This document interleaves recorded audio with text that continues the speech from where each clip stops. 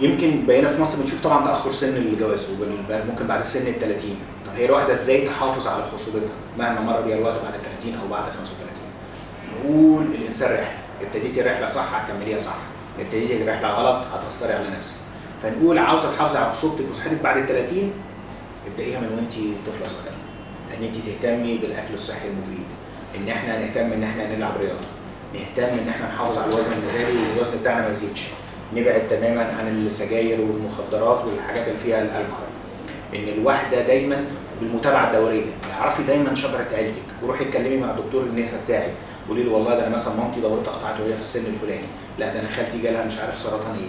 فيبقى اعرفي شجرة عيلتك واتكلمي مع دكتور النساء ونلعب رياضة. ونحافظ على الوزن المثالي. ونبعد عن التدخين والمخدرات والخمور كل دي نصايح هتحافظ على خصوبتنا.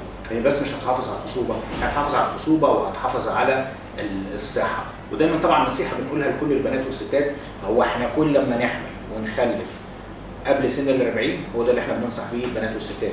لأن بعد سن ال 40 بيبقى الحمل بيبقى أصعب وبتبقى البويضة خلاص بقت عجزت والبويضة بدات أوحش. فاحتمالية الإجهاض أو احتمالية الأجنة اللي فيهم تشوهات بتبقى أعلى. فدايما النصيحة إن إحنا نحاول إن إحنا نحمل ونخلف قبل سن ال 40